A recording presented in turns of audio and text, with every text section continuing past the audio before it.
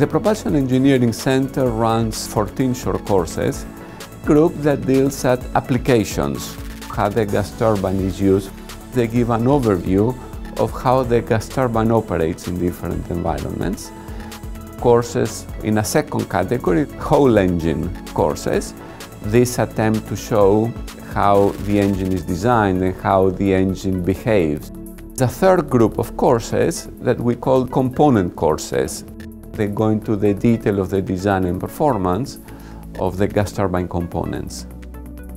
Our India representative, Dr. Sampath, is one uh, to do in India. We work together to develop the content. India is one of the up and coming economies of global importance at the moment. HAL that has had a long collaboration with the university, so many companies require detailed understanding of gas turbine operations.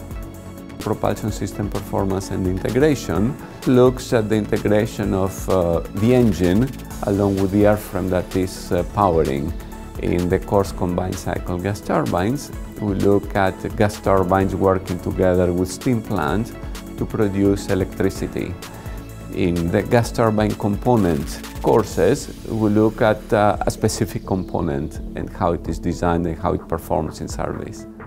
We have had individuals that first freshly joined the company. Also, main board directors attend uh, some special bespoke courses to give them more of a managerial overview of uh, the gas turbine engine and its applications. Our hope is when they go back, they will be able to interpret the gas turbine better through the material that they have acquired in the course